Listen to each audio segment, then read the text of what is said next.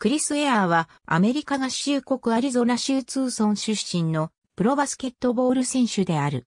ポジションはセンター。身長の割によく走り、ディフェンスも真面目にこなす。得意技はターンアラウンドシュート。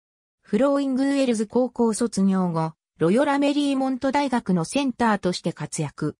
2006年の WCC トーナメント決勝の対、ゴンザガ大学戦 NCWA トーナメント出場をかけた大事な試合でブザービーターの簡単なレイアップシュートを外してしまう。チームはそのまま67から68で敗れた。2006年9月、大学を卒業してそのまま大分ヒートデビルズに入団。シーズン開幕当初はベンチスタートが続き、途中出場しては意気込みすぎてミスしてしまうという悪循環が続いた。